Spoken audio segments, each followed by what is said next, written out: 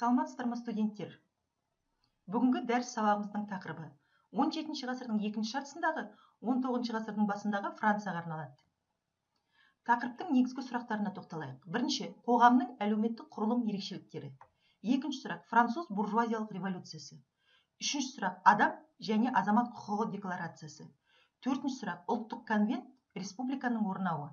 Бесінші сұрақ революциядан кейінгі елдегі саяси жағдай. Ұлы француз буржуазиялық революциясының хронологиясы беріледі. 1789 жылы 5 маусым мамырда францияда бас штаттар шақырылады. 1789 жылы 17 маусымда ұлттық жиналыс жарияланады. 1789 жылы 14 шілдеде бастилия құлайды. 1789 жылы 26 тамызда адам және азамат құқықтарының декларациясы жарияланады. 20 сәуірде 1792 жылы шетелдік интервенция басталып революциялық францияға соғыс жарияланады. 1792 жылы 22 қыркүйекте франция республикасы жарияланады. 1793 жылы 21 қаңтарда 16 людовик жазаланады. 1794 жылы 27 шілдеде термидориандық төңкеріс болып якобиндік диктатура құлайды. 1796-1797 жылдары наполеон бонапарттың итальяндық компаниясы жүреді. 1798-1799 жылдары наполеон бонапарт египетке жорығын жасайды. 1799 жылдың 9 қазанында 18 брюмер күні наполеон бонапарт төңкеріс жасап билікті басып алады. Революцияның себептері. Революцияның материалдық алғышарттары ескі тәртіптің қойнауындағы капиталистік құрылымның дамуында революцияның тікелей себебі тектілікке рулық байланыстарға негізделген архаикалық артықшылықтар жүйесінен бас тартпай ауыр қарыздарын төлей алмайтын мемлекеттің күйреуінде болды. 1789 жылғы ұлы француз революциясының кезеңдеріне тоқталайық. Бірінші 1789 жылғы 14 шілде мен 1792 жылғы 10 тамыз аралығы. Екінші кезең 1792 жылғы 10 тамыз бен 1793 жылғы 2 маусым аралығы. Үшінші кезең 1793 жылдың 2 маусымы 1794 жылдың 27 шілдесі. Төртінші кезең 1794 жылғы 27 шілде 1799 жылғы 9-10 қараша аралығы. Эжен делакруаның картинасы. Халықты жетелейтін бостандық деп аталатын. Бұл картина париждің лувр мұражайында сақталған. Адам құқықтары декларациясы. Адамның жеке құқықтарын анықтайтын ұлы француз революциясының маңызды құжаты. Декларация ұлттық құрылтай жиналысымен 1789 жылы 26 тамызда қабылданды. Адам және азамат құқықтары декларациясы идеяларының негізінде әркімге туғаннан бастап тиесілі теңдік пен бостандық тұжырымдамасы жатыр. Адам және азамат құқықтарының декларациясында билік көзі халық болды. Феодалдық және таптық артықшылықтарды жою көзделді. Адамның өмір сүру бостандық құқығы және тағы басқалар қаралып жекеменшік бұзылмайды және қасиетті болып саналды құрылтай жиналысында депутаттар өз көзқарастары бойынша оңшылдарға және солшылдарға бөлінді. Ұстамдылық пен тәртіпті жақтаушылар оң жақта отырғандар олар оңшылдар деп аталған сол жақта өзгерісті жақтаушылар отырған олар солшылдар деп аталды 1789 жылғы 5-6 қазандағы версальға жорық барысы көрсетіледі. Бұл жерде жасасын король нан мәселесі версальға бет бұру мәселесі қарастырылған картина беріледі. Бесінші қазан күні таңертең нан дүкендерінде түні бойы бекер тұрған әйелдер қала ратушасын қоршайды. Түске дейін алты жеті мың әйел версальға бет алады. Саяси биліктің құрылымы туралы келіспеушіліктер 16 людовиктің шетелге қашуға тырысқанда күшейе түседі. 1791 жылы 20 маусымда ол отбасымен бірге жалған құжаттармен шекарадан өткісі келеді. Бірақ варен қаласында ұсталады. Бастилияның алынуы көрсетілген 1791 жылғы францияның конституциясы 1791 жылы 3 қыркүйекте ұлттық жиналыс еуропа тарихындағы төртінші және әлемдегі бесінші конституцияны жариялайды. Ол жоғары мүліктік біліктілік негізінде бір палаталы парламент заң шығару жиналысын шақыруды ұсынады. Конституция бойынша дауыс беру құқығын алған белсенді азаматтар төрт бүтін оннан үш миллион ал депутаттарды сайлаған таңдаушылар бар болғаны елу мың болады. Ұлттық жиналыс депутаттары жаңа парламентке сайлана алмайды заң шығару жиналысы 1791 жылы бірінші қазанда ашылады. Бұл факт елде шектеулі монархияның құрылғанын көрсетеді. Конституция табиғи және азаматтық құқықтарды қамтамасыз етті. Сайлау құқығын енгізді мүліктік цензбен шектелді. жиырма беске жасқа жиырма бес жасқа толған және салық төлеген ер адамдар дауыс беру құқығын алды барлық ішкі кедендер мен цех жүйесі жойылды әкімшілік аумақтық бірлік департамент болып табылды. Шіркеу жерлері ұлттық қазына деп жарияланып сатылымға шығарылды. Ереуілдерді өткізуге тыйым салатын заң қабылданды. Бұл жерде елді қатты өзгеріске ұшыратқан құрылтай жиналысы өз қызметін аяқтады мың жеті жүз тоқсан бірінші жылы бірінші қазанда заң шығару жиналысы жұмыс істей бастайды. Онда жиронда департаментінің батыл депутаттар тобы көшбасшылық танытады. Олар жирандистер деп аталады. Якобиндер ұлы француз революциясы дәуіріндегі саяси клубтың қатысушылары болды. мың жеті жүз тоқсан үш мың жеті жүз тоқсан төртінші жылдары өздерінің диктатурасын орнатады. мың жеті жүз сексен тоғызыншы жылдың маусым айында құрылып олар өз атауын әулие яковтың доминикан монастырында орналасқан клубтан алады. Максимилиан робеспьер жан поль марат якобиншілердің нағыз белсенді өкілдері болды. мың жеті жүз тоқсан бірінші жылы әйгілі жорондық жак пьер бриссо жиналыс депутаттарына революцияға дейін еуропаның барлық монахтары әлсіз екенін дәлелдейді. Бір, бір мың жеті жүз тоқсан екінші жылы жиырмасыншы сәуірде заң шығарушы жиналыс австрияға соғыс жариялайды. он алтыншы людовик қамауға алынады осы кезде. Мың жеті жүз тоқсан екінші жылы оныншы тамызда жиырма мыңға жуық көтерілісшілер тюильри патша сарайын қоршап алады. Шабуыл қысқа бірақ қанды болады. Патшадан бас тарту және ұлттық конвентті шақыру туралы шешім қабылданады. мың жеті жүз тоқсан екінші жылы оныншы тамыздағы көтеріліс ұлы француз революциясының оқиғасы оның барысында король он алтыншы людовик тақтан құлатылып қамауға алынуымен басталады. Көтеріліс нәтижесінде франциядағы монархия іс жүзінде жойылады ал бриссо бастаған республикалық жирандистік партия билікке келеді. мың жеті жүз тоқсан екінші жылы жиырмасыншы қыркүйекте вальми деревнясындағы шайқаста француз әскерлері пруссия армиясының шабуылдарын тойтарып оны шегінуге мәжбүр етеді. Бұл жеңіс елдің интервенциядан құтылуының бастамасы болады. Монархияның жойылуы 1791 жылғы конституцияны жарамсыз етеді сондықтан ерлердің жалпы дауыс беруімен сайланған конвент шақырылады. Оның депутаттарының арасында төтенше шешуші әрекеттерді жақтаушылар көп болады. Нәтижесінде журналистер оңшылдарға айналады. Конвент қызметінің қорытындыларына келейік. мың жеті жүз тоқсан екінші жылғы қыркүйекте францияда республика жарияланады. Француз отарларының конвентте өкілдік ету құқығы мойындалады. Конвенттің құрамы оңшылдар солшылдар және жазық немесе батпақшылар болды. Оңшылдар журандистер конвенттің төменгі орындықтарында отырды солшылдар якобиндер жоғарғы орындықтарды алып оларды монтаньярлар деп атады. Депутаттардың көпшілігі оңшылдарға да немесе солшылдарға да тиесілі емес болды он алтыншы людовиктің басын шабу сәті көрсетіледі. Мараттың өлімі бейнеленген картинаны көре аласыздар. Наполеон режимінің қалыптасуы. Наполеон бонапарттың билікке келу себептеріне тоқталайық. Елдегі жалпы тұрақсыздыққа байланысты болды. Буржуазияның және қарапайым халықтың революция мазасыздығынан шаршауы да болды. Биліктегі қатты қолды қалау да жүрді. Директорияның қоғамды одан әрі басқаруға қабілетсіздігі байқалды. Франция үшін ұлы француз революциясы мен наполеон режимінің маңызы.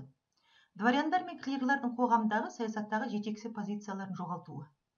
Теңдік негізінде әкімшілік округтердің біртектілігі. Шенеуніктерді конкурстық негізде тағайындау кезінде олардың іскерлік қасиеттерінің назарға алынуы шынайы мемлекеттік қызметтердің пайда болуы аумақты жайластыруда инфрақұрылым құруда қала құрылысында мемлекеттің рөлін күшейту азаматтық кодексте бекітілген жалпы барлық жерде қолданыстағы нормалар мен ережелерді құру. Еуропаның тарихи тағдырлары үшін ұлы француз революциясының маңызына тоқталайық. Феодалдық қатынастарды жою шіркеу иеліктерін зайырландыру буржуазиялық құқық нормаларын енгізу неге келді? Еуропа мемлекеттерінің саяси жүйесінде буржуазияны шоғырландырудың алғышарттарының пайда болуына келді. Ұлы француз революциясы революциясының себептеріне негізгі кезеңдеріне нәтижелеріне ә, тоқталайық. Ұлы француз революциясы мың жеті жүз сексенінші жылдардың аяғы мен мың да жеті жүз тоқсаныншы жылдардың бірінші жартысында францияны басып алған процестердің жалпы атауы болды. Революциялық өзгерістер түбегейлі ескі жүйені бұзу монархияны жою демократиялық жүйеге біртіндеп көшу сипатында жасалды. Жалпы революция монархиялық жүйеге және феодалдық қалдықтарға қарсы бағытталды. Хронологиялық тұрғыдан революция мың да жеті жүз сексен тоғызыншы жылдан мың да жеті жүз тоқсан төртінші жылға дейінгі кезеңді қамтиды. Дегенмен кейбір тарихшылар бұл мың да жеті жүз тоқсан тоғызыншы жылы наполеон бонапарт билікке келген кезде аяқталды деп санайды. Қатысушылар ұлы француз революциясының негізін монархиялық жүйенің және үшінші меншіктің тірегі болған артықшылықты дворяндардың қарама қайшылығы құрайды дейді. Дворяндар ол келесі топтармен ұсынылады. Шаруалармен буржуазиямен мануфактураның жұмысшыларымен қалалық кедей немесе плебспен. Көтерілістің басында буржуазия өкілдері тұрды олар халықтың басқа топтарының қажеттіліктерін әрдайым ескере бермеді революцияның алғы шарттары мен негізгі себептері. 1780 жылдардың аяғында францияда ұзаққа созылған саяси экономикалық және әлеуметтік дағдарыс басталады. Өзгерістерді плебс шаруалар буржуазия және мұндай жағдайға төзгісі келмейтін жұмысшылар талап етеді. Ең күрделі мәселелердің бірі аграрлық саланы қамтиды. Ол феодалдық жүйенің терең дағдарысына байланысты үнемі күрделене түседі. Оның қалдықтары нарықтық қатынастардың дамуына капиталистік принциптердің ауыл шаруашылығы мен өнеркәсіпке енуіне жаңа кәсіптер мен өндіріс салаларының пайда болуына кедергі келтіреді.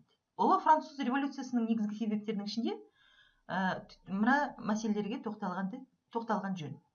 1787 жылы басталған сауда өнеркәсіп дағдарысы патшаның дәрменсіздігі және ел бюджетінің тапшылығы 1788-1789 жылдардағы шаруалар көтерілістеріне әкелген бірнеше сәтсіз жылдар монархиялық режим дағдарысы. Корольдік сотта туындаған мәселелерді шешуге талпыныс жасалады. Бірақ шенеуніктер қолданған жүйелік дағдарысты еңсеру әдістері үмітсіз ескіреді және жұмыс істемейді. Сондықтан король 16 жылда белгілі бір жеңілдіктер жасауға шешім қабылдайды. Атап айтқанда соңғы рет 1614 жылы жиналған натабли мен бас штаттар шақырылады. Бас штаттардың отырысына үшінші сословие өкілдері де қатысады. Осы сословияның өкілдері ұлттық жиналыс құрып ол көп ұзамай құрылтай болады. Француз қоғамының дворяндары мен таңдаулы топтары оның ішінде дінбасылар осындай теңдікке қарсы шығып жиналысты жеделдетуге кіріседі. Сонымен қатар олар патшаның салық салу туралы ұсынысын қабылдамайды шаруалар буржуазия жұмысшылар мен плебс бүкіл халықтық көтеріліске дайындала бастайды. Оны тарату әрекеті мың да жеті жүз сексен тоғызыншы жылы он үшінші он төртінші шілдеде париж көшелеріне үшінші сословияның көптеген өкілдерін шығуға әкеледі. Осылайша францияны мәңгілікке өзгерткен ұлы француз революциясы басталады. Революцияның кезеңдеріндегі кейінгі оқиғалар әдетте бірнеше кезеңге бөлінеді. мың да жеті жүз сексен тоғызыншы жылғы он төртінші шілдеден мың да жеті жүз тоқсан екінші жылғы оныншы тамызға дейін мың жеті жүз тоқсан екінші жылғы оныншы тамыздан мың да жеті жүз тоқсан үшінші жылғы үшінші маусымға дейін мың жеті жүз тоқсан үшінші жылғы үшінші маусым мен мың жеті жүз тоқсан төртінші жылғы жиырма сегізінші шілде мың да жеті жүз тоқсан төртінші жылғы жиырма сегізінші шілде мен мың да жеті жүз тоқсан тоғызыншы жылғы тоғызыншы қарашаға дейінгі аралық. Бірінші кезең ең танымал француз түрмесі бастилия бекінісін басып алудан басталады. Сондай ақ келесі оқиғалар осы кезеңге жатады. Ескі билік органдарын жаңаларына ауыстыру буржуазияға бағынатын ұлттық ұланды құру мың да жеті жүз сексен тоғызыншы жылдың күзінде адам және азамат құқықтары декларациясын қабылдау буржуазия мен плебстің құқықтарына қатысты бірқатар жарлықтарды шығару атап айтқанда мүлік бөлінісі жойылады шіркеу мүлкі тәркіленеді дінбасылар жайлы билік органдарының бақылауына өтеді елдің ескі әкімшілік бөлінісі жойылады цехтар таратылады. Феодалдық міндеттерді жою шиеленісті жағдайда жүреді бірақ нәтижесінде көтерілісшілер бұған қол жеткізеді. Мың жеті жүз тоқсан бірінші жылдың жазының, жазының бірінші жартысында варена дағдарысының пайда болуында болуына келейік. Дағдарыс патшаның шетелге қашуға тырысуымен басталады. Бұл оқиғамен марс даласындағы демонстрацияны ату дворяндардың жағына өткен халықтың кедей топтары мен буржуазияға қарсы тұрудың басталуы сондай ақ қалыпты саяси партия филианның якобин революциялық клубынан бөлінуі байланысты. Негізгі саяси күштер жирандистер филиандар мен якобиндер арасындағы тұрақты қайшылықтар. Бұл еуропаның басқа мемлекеттеріне франция аумағына енуді жеңілдетеді. мың жеті жүз тоқсан бір мың жеті жүз тоқсан екінші жылдар аралығында мемлекетке соғысты. Пруссия сардиния ұлыбритания австрия неаполитан корольдігі испания нидерланды және кейбір неміс князьдіктері жариялайды. Француз әскері мұндай оқиғаларға дайын болмайды әсіресе генералдардың көпшілігі елден қашып кетеді. Парижде елордаға шабуыл жасау қаупіне байланысты еріктілер отрядтары пайда бола бастайды. Монархияға қарсы қозғалысты жандандыруға келетін болсақ 1792 жылы 10 тамызда монархияның түпкілікті құлатылуы және париж коммунасының құрылуы жүреді. Революцияның екінші кезеңінің басты ерекшелігі жирандистер мен якобиндер арасындағы қарама қайшылықтың болуында еді. Бірінші көшбасшылар сауда өнеркәсіптік және ауыл шаруашылық буржуазия жағында тұрған бриссо ролан верно болады. Бұл партия революцияның тез аяқталуын және саяси тұрақтылықты орнатуды қалайды. Якобиншілерді орта топтың таптың және кедей буржуазияның өкілдері робеспьер марат және дантон басқарады. Олар жұмысшылар мен шаруалардың мүдделерін қорғайды сондай ақ революцияның одан әрі дамуын қолдайды. Өйткені олардың талаптары ескерусіз қалады. Ұлы француз революциясының екінші кезеңіндегі негізгі оқиғалар. Якобиндер басқаратын париж коммунасы мен жирандистердің заң шығарушы жиналыс арасындағы күрес. Қарама қайшылықтың салдары конвенттің құрылуы болды. Оның өкілдері жалпыға бірдей сайлау құқығы негізінде 21 жастан асқан францияның барлық ер адамдарынан сайланды. 1792 жылы 21 қыркүйекте францияның республика болып жариялануы. Бурбон әулетінің соңғы патшасы 1793 жылы 21 қаңтарда өлім жазасына кесілді. Кедейлік жерсіз және аштықтан туындаған шаруа сөздерінің жалғасы. Жұрт. Кедейлер мырзалардың мүлкін басып алып қауымдық жерді бөлісті. Қала тұрғындары да азық түлік бағасын белгілеуді талап етіп бүлік шығарды. 1793 жылдың мамыр айының аяғы мен маусым айының басында журналистерді конвенттер конвенттен шығарды. Бұл көтерілістің екінші кезеңін аяқтады. Қарсыластардан құтылу яковиндіктерге биліктің толықтығын өз қолына шоғырландыруға мүмкіндік берді. Ұлы француз революциясының үшінші кезеңі якобин диктатурасы ретінде белгілі және ең алдымен якобиндердің басшысы максимилиан робеспьердің есімімен байланысты. Бұл жас республика үшін өте қиын кезең болды ішкі қайшылықтар елді бөліктерге бөліп тастағанда көрші державалардың әскерлері мемлекет шекараларына қарай жылжуды бастайды. Франция оңтүстік және солтүстік батыс провинцияларды қамтыған вандей соғыстарына қатысады. Якобиншілер бірінші кезекте аграрлық мәселені шешумен айналысты. Барлық коммуналдық жерлер мен қашқан дворяндардың жерлері шаруаларға берілді. Содан кейін феодалдық құқықтар мен артықшылықтар жойылды. Бұл қоғамның жаңа табының еркін меншік иелерінің қалыптасуына ықпал етті. Келесі қадам демократиялық сипаттағы жаңа конституцияны қабылдау болды. Конституциялық басқару енгізілуі керек еді. Бірақ күрделі әлеуметтік саяси және экономикалық дағдарыс якобиндіктерді революциялық демократиялық диктатура режимін орнатуға мәжбүр етті. 1793 жылдың тамыз айының соңында француздарды шетелдік интервенттерге қарсы күреске жұмылдыру туралы жарлық қабылданады. Бұған жауап ретінде ел ішіндегі якобиндердің қарсыластары францияның барлық қалаларында террористік актілерді жаппай жүргізе бастайды. Соның нәтижесінде марат қаза табады. 1796 жылдың шілде айының соңында республикалық әскерлер флюрюс маңында интервенция әскерлерін талқандайды. Якобиндердің соңғы шешімдері жүзеге асырылмайтын вантоз жарлықтарының қабылдануы болады. Диктатура репрессия және реквизиция экспроприация саясаты шаруаларды якобин режиміне қарсы қояды. Нәтижесінде робеспьер үкіметін құлатуға бағытталған бүлік пайда болады. Термидориандық деп аталатын төңкеріс якобиндіктердің басқаруына тоқтау салады билікке бір қалыпты республикандықтар мен буржуазияны әкеледі. Олар жаңа басқару органын директорияны құрады. Жаңа билік елде бірқатар өзгерістер жасайды. Жаңа конституция қабылданады. Ол жалпыға бірдей сайлау құқығын цензге ауыстырады. Сайлауға белгілі бір мөлшерде мүлкі бар азаматтар ғана рұқсат алады.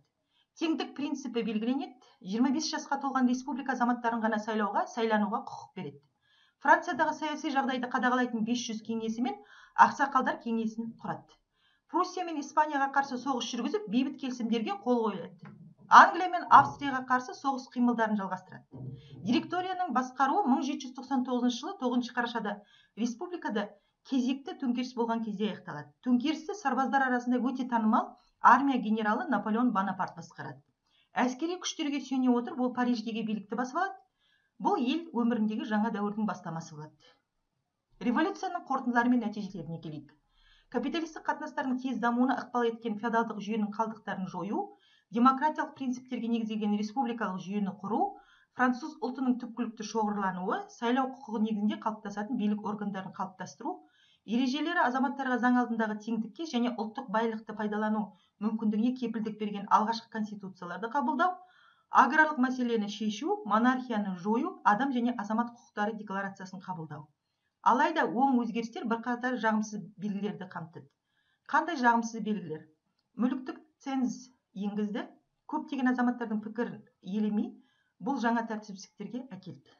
Тиімді басқару жүйесін қалыптастыруға кедергі келтіретін күрделі әкімшілік бөліністі орнатты. Бекіту сұрақтарына назар аударыңыздар. Бірінші сұрақ абсолютизм және оның дағдарысына. Мән беріңіздер. Екінші 18 ғасырдағы франциядағы революциялық ой пікірдің қалыптасуы. Үшінші якобин диктатурасының орнауы және термидорлық конвент.